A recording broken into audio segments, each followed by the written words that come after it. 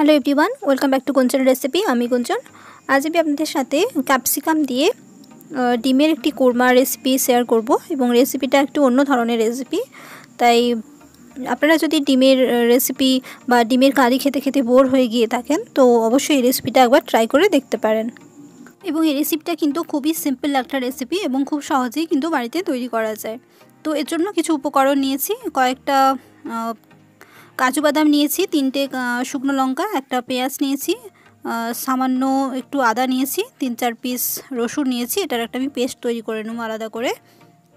এবং প্যানে সামান্য তেল নিয়েছি, এতে আমি ডিমটা সামান্য ছিঁড়ে নিয়েছি ছুরিতে করে, এবার এটা আমি ভাজা করে নেব। ডিমটা কিন্তু খুব বেশি ভাজবো না হালকা করে ভেজে নেব। তো এইভাবেই ডিমটাকে আমি ভেজে নেব। তবে সামান্য একটু নুন দিয়ে নেব, এতে আমি হলুদ, লঙ্কা এসব দেব না। কারণ ডিমের কোরমাটা আমি হোয়াইট বানাবো। তো তার জন্য এতে আমি হলুদ এবং লঙ্কাগুলো কিছুই ব্যবহার করছি না। অনলি নুনটা ব্যবহার করছি। তো ডিমটা এবার হালকা করে ভেজে নিয়েছি। এবার ডিমটাকে আমি তুলে নেব একটি পাত্রে।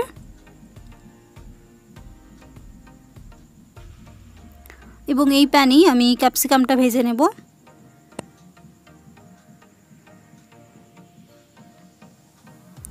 ক্যাপসিকামটাও খুব সামান্য করেই আমি ভেজে নেব, খুব বেশি করে ভাজবো না।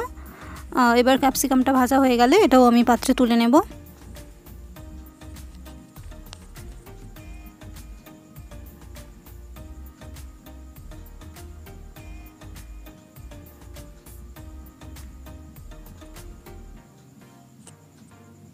এবার কড়াইতে আমি ফোড়ন হিসেবে শুকনো লঙ্কা, একটা তেজপাতা এবং কালো জিরে এবং সামান্য কারি পাতা দিয়ে নেব।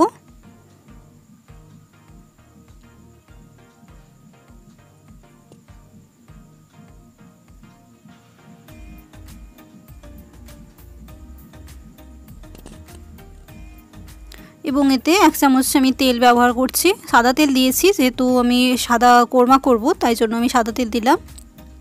এবার একটা পেঁয়াজ কুচি করে এর মধ্যে দিয়ে নিয়েছি এটা ভেজে নেব হালকা করে।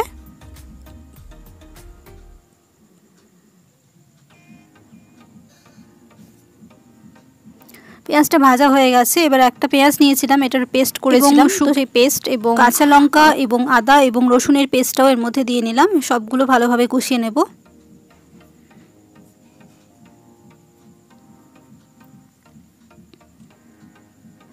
মশলাটা একটু কষিয়ে নিতে সময় লাগবে। তো হালকা আছে, আমি এগুলো খুব ভালোভাবে কষিয়ে নিচ্ছি।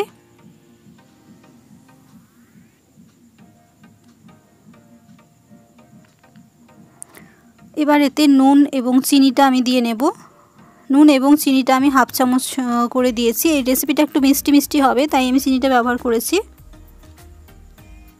এবং এতে হাফ চামচের মতো ধনে গুঁড়ো নিয়েছি এবং হাফ চামচের মতো গরম মশলার গুঁড়ো এবং হাফ চামচের মতো গোলমরিচের গুঁড়ো ব্যবহার করেছি।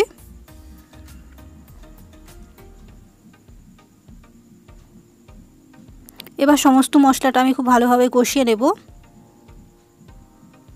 এবং সামান্য জল দিয়ে নিচ্ছি যাতে মশলাটা খুব ভালোভাবে মিশে যেতে পারে বা কষানো হয়ে যেতে পারে।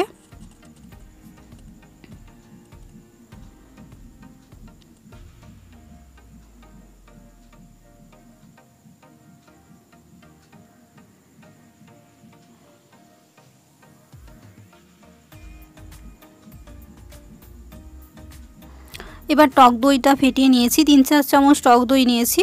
তো সেই টক দইটার মধ্যে মিশিয়ে নিচ্ছি এবং টক দইটাও খুব ভালোভাবে কষিয়ে নিচ্ছি মশলার মধ্যে।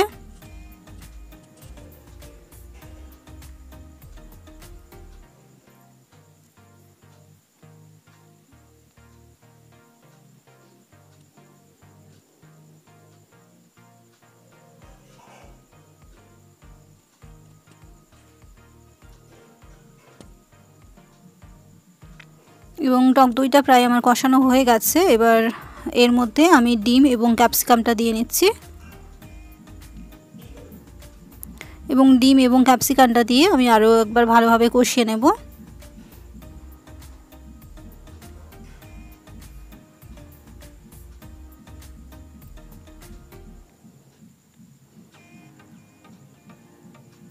এবার এতে সামান্য জল দিয়ে নিচ্ছি হাফ কাপের মতো।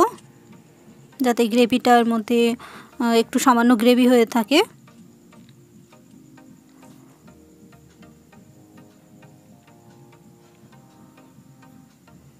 এবার এই গ্রেভিটা সামান্য ঘন হয়ে এলে মধ্যে অন্যান্য উপকরণগুলো আমি মিশিয়ে নেব।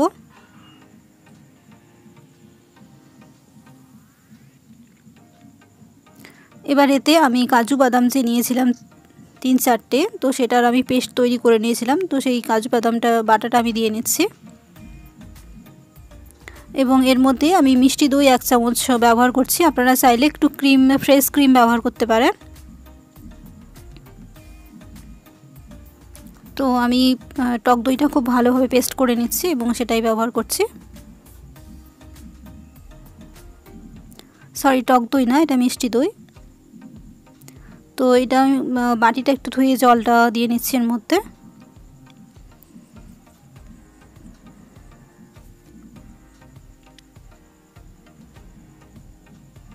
এবার গ্রেভিটা একটু ফুটে যাওয়া অবধি আমি গ্যাসটা একটু হালকা আঁচে রান্না করব।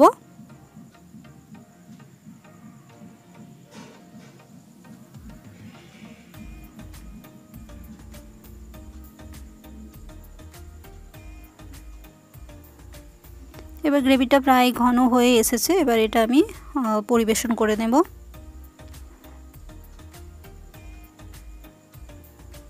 এবার তার জন্য একটা পাত্র নিয়েছি, এবার গ্যাসটা বন্ধ করে এটা আমি একটা পাত্রে ঢেলে নিচ্ছি।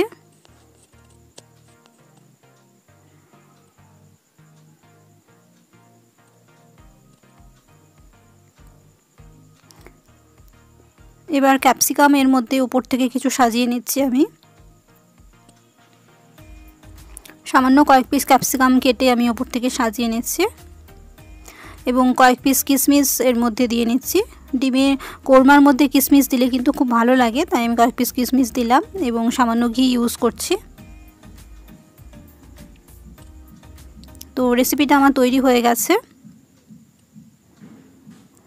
তো এই রেসিপিটা কিন্তু খুব রিচ রেসিপি নয়, এটা কিন্তু হালকার একটা রেসিপি এবং এটা আপনারা রুটি, পরোটার সাথে বা পোলাও বা ফ্রাইড রাইসের সাথে পরিবেশন করতে পারেন। রেসিপিটা কিন্তু ভাতের সাথে খুব ভালো লাগবে না। একঘেয়ে ডিমের কারি খেতে খেতে যদি আপনারা বোর হয়ে থাকেন, তো এই ধরনের একটু অন্যরকম রেসিপি ট্রাই করে দেখতে পারেন। রেসিপিটা কিন্তু সিম্পলের উপরে কিন্তু খুব ভালো একটি রেসিপি একটু অন্য ধরনের রেসিপি তাই ভিডিওটা যদি আপনাদের ভালো লেগে থাকে, অবশ্যই ভিডিওটাতে লাইক করবেন শেয়ার করবেন এবং আপনি যদি আমার চ্যানেলে নতুন এসে থাকেন, তবে অবশ্যই চ্যানেলটাকে সাবস্ক্রাইব করে পাশে থাকা বেল আইকনটা অবশ্যই প্রেস করে রাখবেন। তো আজকের মতো রেসিপিটা আমি এখানেই শেষ করছি। Thanks for watching see you again